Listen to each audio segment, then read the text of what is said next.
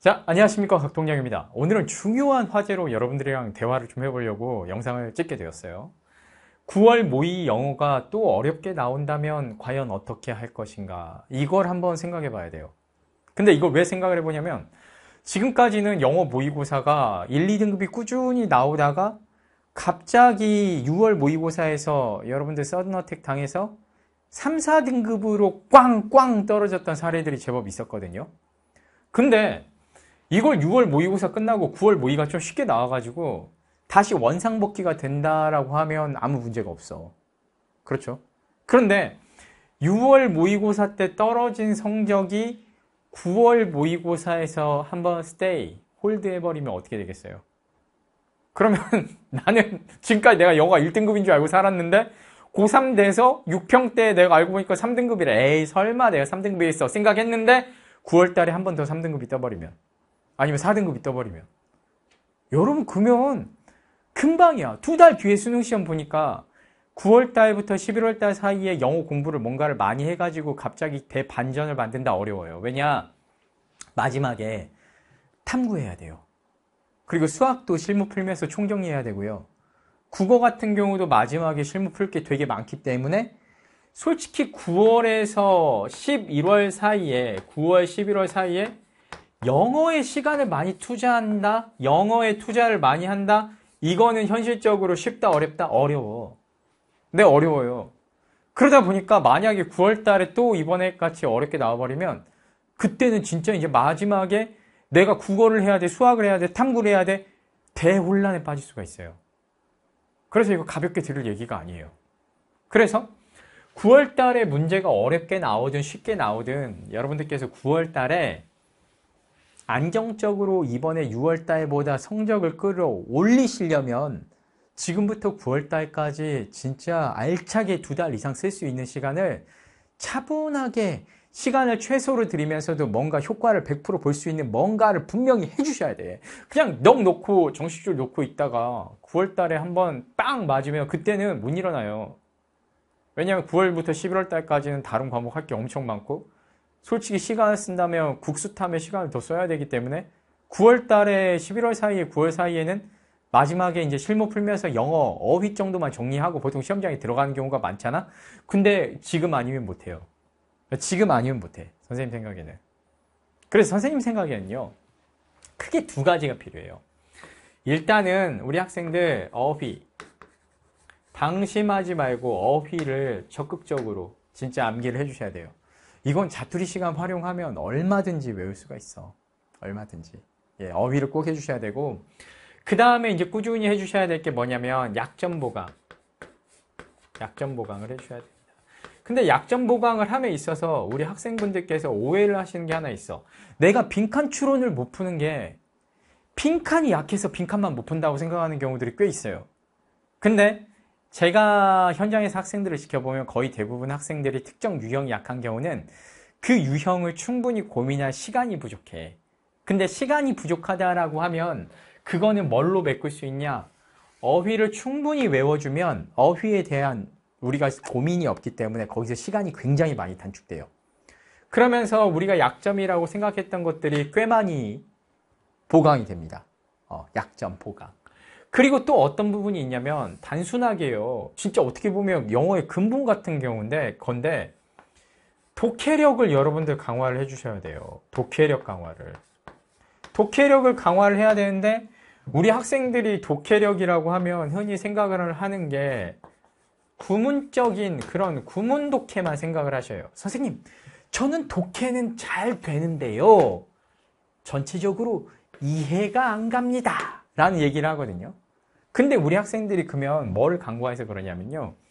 문장 하나하나는 해석이 되는데 그 문장을 조합해서 전체 상황, 즉 맥락을 이해하는 이 능력, 이 독해력이 약해요. 이거를 뭐라고도 하느냐? 전체적인 이해를 하기 때문에 문해력이라고도 부릅니다. 문해력.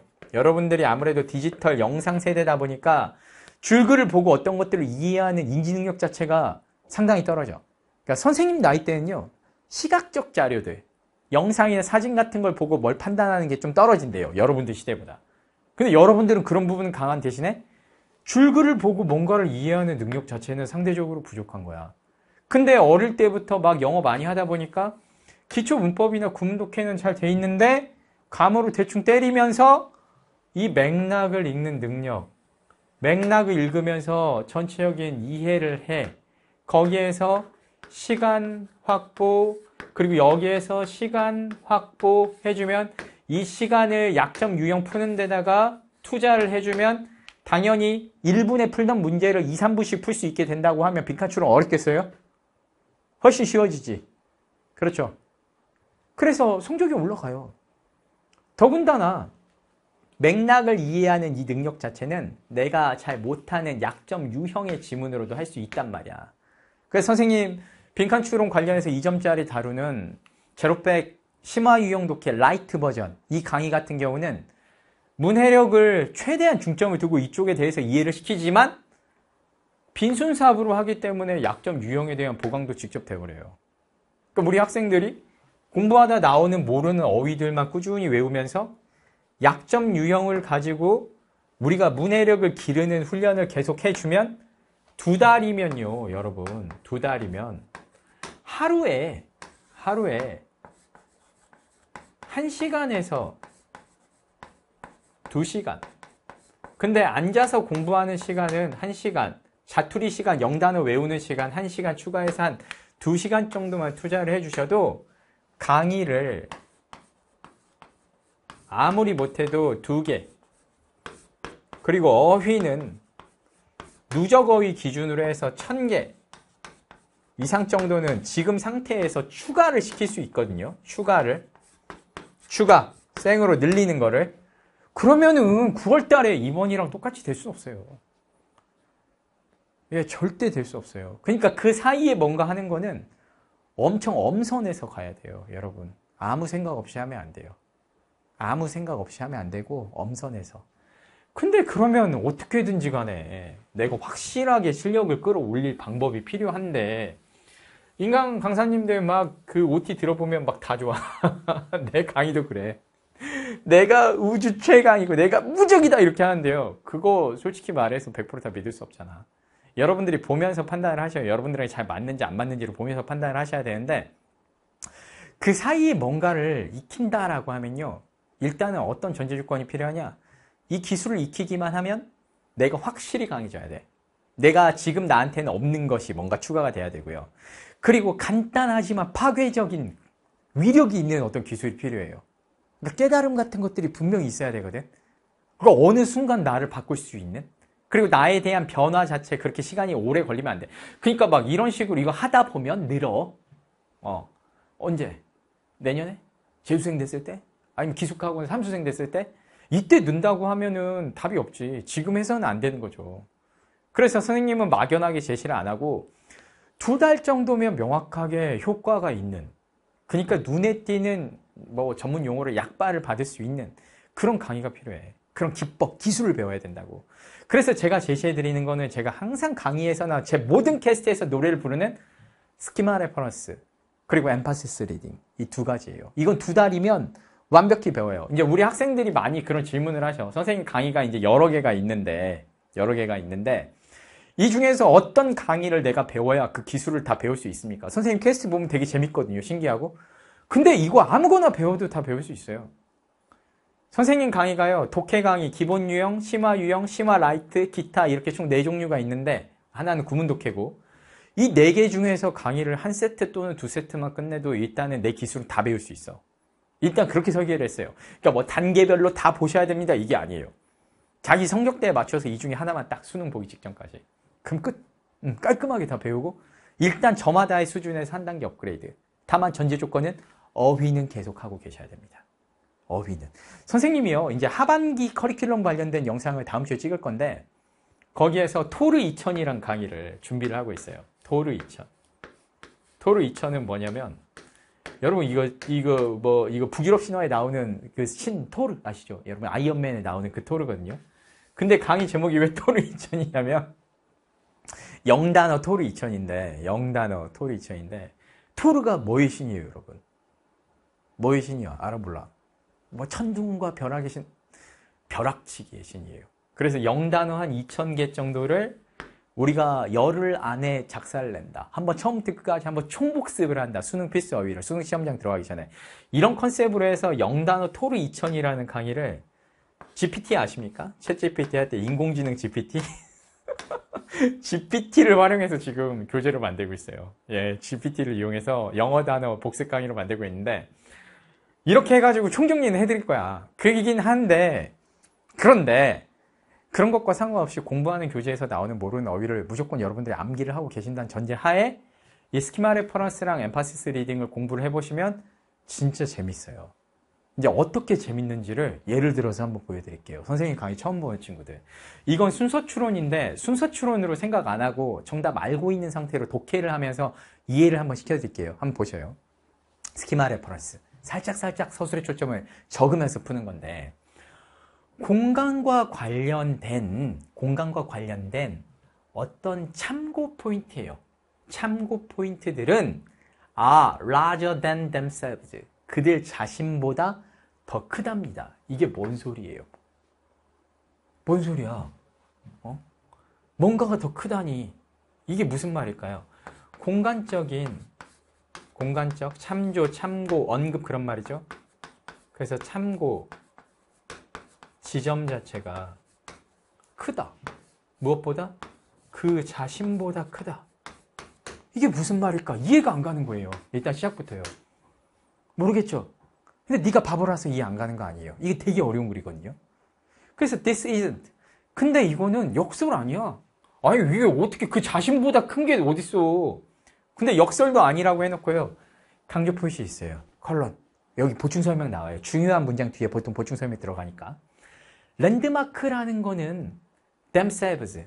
그 자체를 랜드마크라고도 하지만 하지만 강조사죠. 그들은 역시 규정합니다. 그 인근 지역까지를 규정한대요. 아, 그러면 여기서 schema reference 하면서요, 도식화를 한번 해보는 거야. 우리 전라북도 전주 친구들은요, 야, 객사 앞에서 보자. 이렇게 얘기해요. 시내에서 만날 때 객사에서 만나거든요. 원래 시골은 다 그래요. 그 지역에서 제일 유명한 랜드마크가 있어. 그러면 객사 정문 바로 앞에서 탁 보는 게 아니라 사실은 객사 근처에 있는 롯데리아 앞에서 많이 만나거든요. 우리 때는 그랬었단 말이야. 그러니까 공간적인 어떤 참고 지점을 아 여기서는 지금 랜드마크라고 했구나. 그래서 랜드마크라고 하면 예를 들어서 특정 건물을 랜드마크라고 할 수도 있지만 특정 건물을 그 주변 공간까지를 주변 공간까지를 통째로 그 지역으로 규정을 한다는 거야. 그 주변 지역까지를 통째로 인근 지역까지를 포함해서. 그래서 공간적 참고 지점은 여기지만 그 자신, 그 자신보다 더 크고 이 부분을 통째로 그러니까 어떤 특정 지점, 야 객사 이렇게 얘기를 할 수 있다는 얘기예요. 아하, 그 얘기구나. 아. 그래서 랜드마크 뭐 어떤 특정 이름을 붙이면 그 지역 인근까지를 포함한다는 얘기야. 그러니까 이런 깨달음 같은 것들이 있었을 때 살짝 적어놔. 그래서 인근까지를 포함하는 개념이다. 이렇게요. 그래서 이제 A부터 가면요. A paradigm, 모범적인 사례 속에서 that has been repeated, 그건 반복된대요. 근데 어떤 사례냐면 캠퍼스에서 이제 대학생들 대상으로 연구를 하는 거야. 연구자들은 최초에는 collector list of campus, 어떤 캠퍼스에 있는 랜드마크의 리스트들을 수집을 합니다. 학생들한테 막 모집, 수집을 해요. 그 다음에 그들은 또 다른 집단들의 학생들한테 물어봅니다. 뭘 하도록 요청을 해주냐면, 야, 대충 추산해봐. 거리를. between pairs니까 짝이에요. 로케이션들의, 지역들의, 어떤 지점들의. 근데 some to landmark, 랜드마크까지 가는. 그리고 some to ordinary buildings on campus. 캠퍼스에 있는 일반 빌딩까지의 거리 같은 것들을 계산을 시킨단 말이야. 그러니까 랜드마크에서 어, 랜드마크와 일반 건물과 랜드마크 사이의 거리를 한번 추산을 시켜보는 거지. 그런데 그런데 뒤에서 봤더니 remarkable한 finding 같은 것들이 나온단 말이야. 이게 강조사예요, 여러분. 굉장히 놀라운 발견. 그러면 연구에서 remarkable한 뭔가를 발견했다라고 하면 굉장히 놀랍고 상식적이지 않은 일반적이지 않은 빈칸 추론이라면 주제에 해당할 만한 내용들을 지금 언급을 하게 됩니다. 여긴 천천히 읽어야 돼요. 이런 게 emphasis reading이야. 근데 뭘 발견하냐면 distance from an ordinary location에서 랜드마크까지의 거리가 판단이 된다는 거야. shorter than 뭐뭐보다 더 짧게 distance is from a landmark. 랜드마크로부터 어디너리 로케이션까지 가는 거리까지 보다. 잠깐 여기서 끊을 겁니다. 오늘은 강의 여기까지 할 거거든. 왜? 이게 무슨 말인지 한번 보자고. 이게 뭔 소리야? 이게 순서 추론이 아니라 만약에 빈칸 추론이었으면 이거 이해 못하면 못 찾거든. 왜? remarkable한 finding이고 여기 비교급 표현 들어가니까 그리고 이게 놀라운 뭔가 어떤 거야. 이거 못 따면 다 못 찾는다고. 주제도 못 잡고 제목도 못 잡아. 물론 반복 강조로 똑같은 말을 뒤에 아니면 정리 포인트로 정리를 해놨을 겁니다. 근데 이런 것들이 이해가 참 빨리 가는 방법이 있다고 하면 너무 신나지 않겠어요? 그러면 여러분 도식화를 해요. schema reference 하면서 도식화를 하는 거야. 이런 랜드마크와 일반 건물이 있다라고 해봐요. 일반 건물이 여기 있습니다. 그런데 이제 한번 도식화를 해서 놓고 보는 거야. 어디너리한 로케이션으로부터 랜드마크까지 가는 거리. 요 거리가 있고요.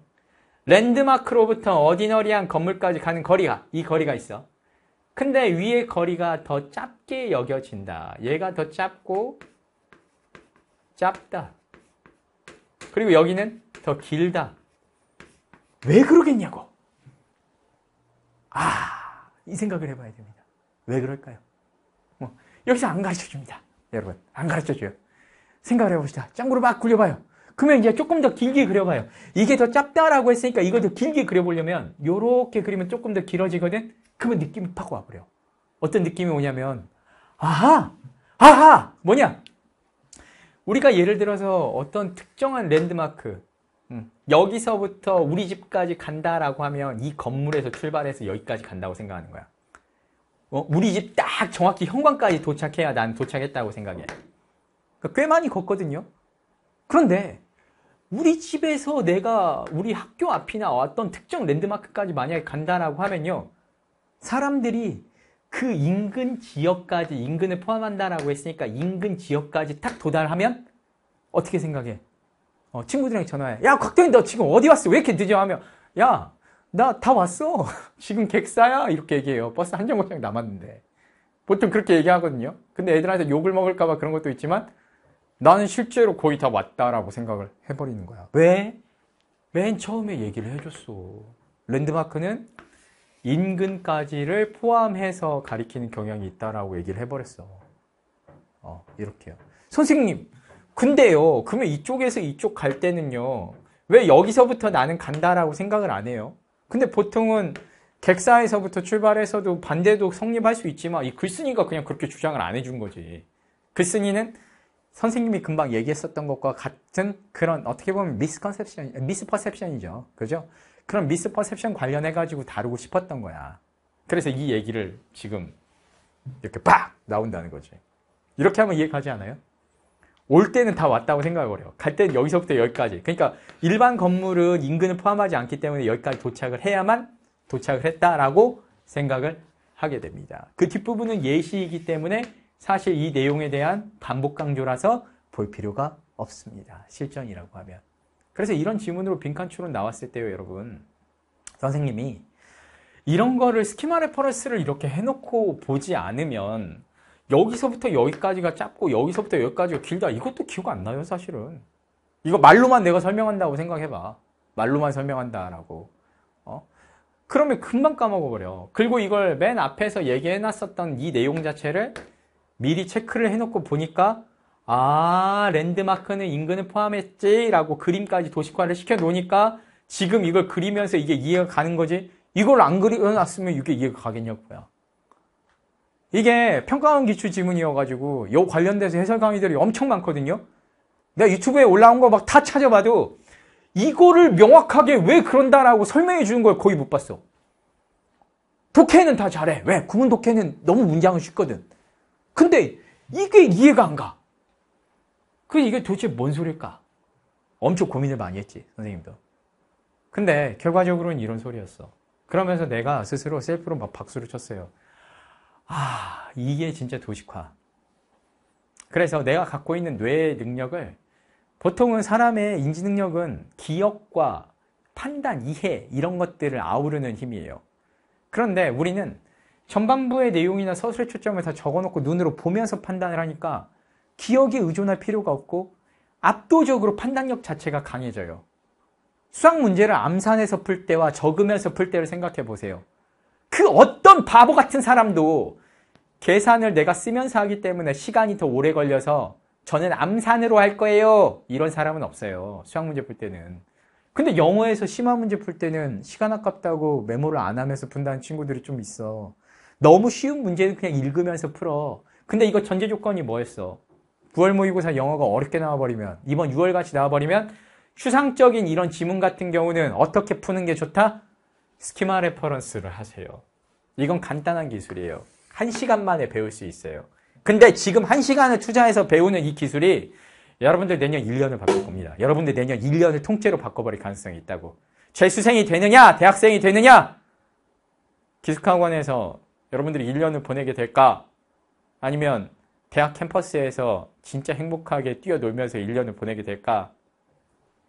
짧은 시간, 앞으로 한 달, 두 달 사이에 결판을 내버릴 수 있으니까 남은 기간 동안에요. 여러분 영어 단어 진짜 아무리 강조해도 지나치지 않아. 저는 영어 단어는 충분한데요. 까불지 마세요. 더 하세요. 더, 더, 더. 주석 단어까지 그냥 다 외워버려. 이건, 이건 좀 근데 선 넘는 말이니까. 아무튼 지금 수준에서 최대한 많이 외우셨으면 좋겠고요. 그리고 이 schema reference랑 emphasis reading이라는 이 기술을 좀 갖고 가주세요. 그리고 emphasis reading 같은 경우는 되게 간단해요. 글의 흐름을 봐요. 보통 이렇게 두 개를 비교대조로 표현을 해주면 대조군 대비 강조군을 강조하는 내용이기 때문에 되게 중요한 내용이 들어가고 과학적 연구에서 remarkable한 finding 이런 표현이 나오면 이 어휘가 강조 어휘예요. 보통 그렇기 때문에 굉장히 중요한 내용이 들어가고 그리고 so라고 해놓으면서 뒤에다가 구체적 예시가 들어가 버리면 구체적 예시로 설명까지 해주는 내용은 보통은 굉장히 중요한 내용을 설명을 해줘요. 이런 것들을 emphasis reading이라고 해서 emphasis가 걸려있는 포인트 같은 것들을 딱 집어내면 빈칸 추론이나 주제 제목 요지 추론이나 문장 삽입이라든지 무관한 문장 이런 거 잡는 거는 정말 최고예요. 거저먹는 문제가 많고 prediction이 됩니다. 그 뒤쪽에 어떤 내용이 나오는지를 미리 예상을 대충 해볼 수 있어. 재밌어요.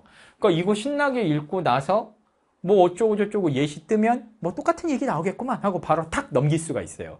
그러니까 속독, 속독이 가능하고 예상하면서 읽으면 복잡한 내용도 깊이 있게 이해가 갑니다. 그리고 무엇보다도 선생님 기술 좋은 거는요. 간단해요. 간단해. 그리고 선생님이 만든 기술이지만 정확히는 20년 전에 제가 만든 기술이에요. 선생님은 사실은 이거는 학창시절을 중고등학교 그 6년간을요. 영어학원을 한 번도 안 가봤어요. 재수생 때도 마찬가지예요. 그래서 제가 온이 깨달은 영어를 온이 만든 기술인데 그 당시에 고3 재수 때는 제가 진짜 괴물이었어요. 모의고사를 보면 390점대, 400만점에서 390점대가 거의 평균 점수. 그래서 전라북도 전체 수석도 했었고, 그리고 그 당시에는 수능 두 번 다 영어 만점이었고, 첫 해에 서울대 법대 컷 넘겼고요. 두 번째 해에 재수했을 때는 서울대 경영대 컷 넘겨서 정시로 서울대 경영학부 합격증이 있어요. 이거는 선생님 OT 영상에서 많이 보여드렸어요. 강의 소개할 때. 그래서 뭐 그건 언제든지 인증 가능한 거니까 뭐 숨길 것도 아니죠. 예, 서울대학교 교부자이 찍혀 있는 거니까. 예. 어쨌든지 그 당시에 만들었었어.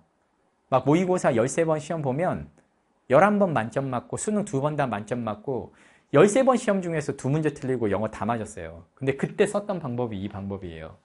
그래서 내가 영어를 뭐 못해가지고 이 방법을 써가지고 메모를 치면서 막 풀었겠습니까? 근데 이건 말 그대로 필살기야. 쉬운 거는 나도 그냥 쓱쓱쓱 읽으면서요. 탕탕탕탕탕.